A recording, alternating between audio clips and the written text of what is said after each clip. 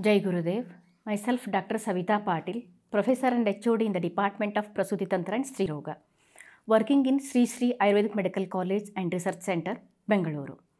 Our department is a well established department which has started with the PG Center before three years. Here in a Sri Sri hospital, we have well equipped operation theatre where we do all minor and major surgical procedures that may be like LSCS, abdominal and vaginal hysterectomies, even laparoscopic procedures where we do myomectomies and uh, tubal sterilization and even we do tubal recanalization procedures. Nowadays, we are seeing many congenital anomalies baby's birth. Here in our hospital, we are doing preconceptional counseling where we counsel the couple for their history and we follow purification therapies for both in order to facilitate the healthy progeny. In uh, pregnant woman, our acharyas they told masanumasika garbhini paricharya.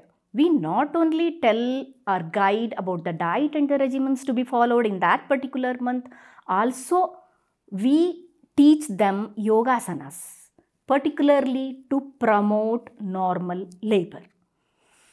We also treat some of the gynecological disorders that may be like irregular menstruation, dysmenorrhea, white discharges, menorrhagia, abnormal uterine bleeding, PCOD like cases, and even infer- infertility related cases.